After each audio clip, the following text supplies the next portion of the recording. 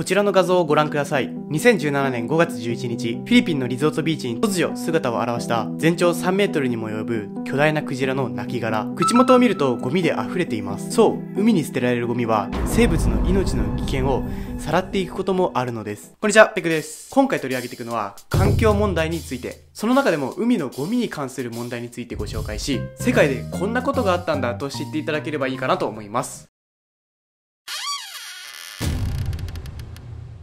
今回取り上げるのは海のゴミによってクジラの生態系に危険を及ぼしているという問題です。1インドネシアに漂流したクジラインドネシアのカポタ島の海岸に2018年11月1頭のクジラの死骸が流れ着きました。地元の領民や環境保護団体メンバーなどが海岸で死骸を調査したところ胃の中から大量のプラスチック製のゴミが出てきました。国立公園関係者などによるとこのクジラは体長9.5メートルのマッコウクジラでその胃の中から合計で約5.9キロものプラスチックゴミが回収されたといいます。このクジラが亡くなってしまった原因が消化されることなく残された胃の中のプラスチックゴミだったかということは亡くなってからの腐敗が激しいため特定することはできなかったようです。このクジラは亡くなった原因がゴミなのかははっきりしなかったようですが調べてみると他にもゴミが原因で亡くなったとされるクジラはいました。2マレーシアのクジラ。2018年5月にはマレーシアとの国境に近いタイの運河で衰弱したゴンドウクジラ1頭が発見され保護されました。クジラは保護中にビニール袋5枚を口から吐き出したことから体内に大量のプラスチックゴミが残されていると考えられました。保護活動が行われましたが発見から5日後に虚しくもクジラは亡くなりました。その後専門家などがゴンドウクジラを解剖したところやはり胃の中から大量のプラスチックが発見されたようです。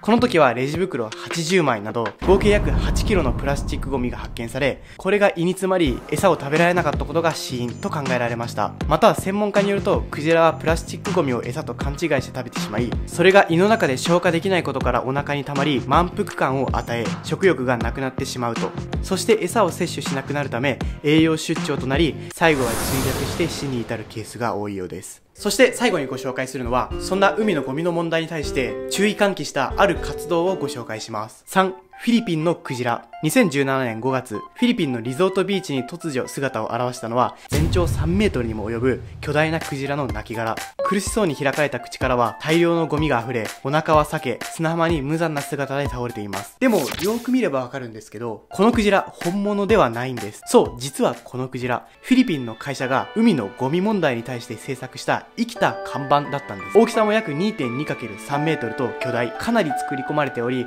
海で見つかったプラスチックゴミだけで作成され、地元のアーティスト、フィリピンの会社が協力し合い、細部まで忠実にクジラを作り上げたようです。アメリカ NGO の調査で、世界の海に投棄されるプラスチックゴミは、その約半分が中国を筆頭にインドネシア、フィリピン、ベトナム、タイとアジアの5カ国から出されたものであると分かっており、その中のフィリピンがこのように海のゴミ問題を提唱していったようです。実はクジラだけではなく、タイではウミガメ、イルカなど年間で約300頭以上の海洋生物がプラスチックゴミを食べて死ぬ事例が報告されていて、早急な対策が環境問題や海洋問題の専門家から指摘されているようです。僕たちは知らないことが多すぎますよね。こうやって世界の情報を知ることができる今に生まれたからこそ、その問題に対してやることが少なくとも知っていれば何かあった時に行動を起こせるかもしれません。他にもみんなが知らなかったような情報を発信していきたいと思います。知らないことを知るのって意外と楽しいですよね。知識を得たらそれに対して自分はどう思うのかを発信し、ウトプットするべきだと思うので、ぜひみんなの意見をコメント欄で聞きたいです。それでは次の動画でお会いしましょう。次に見てほしい動画は、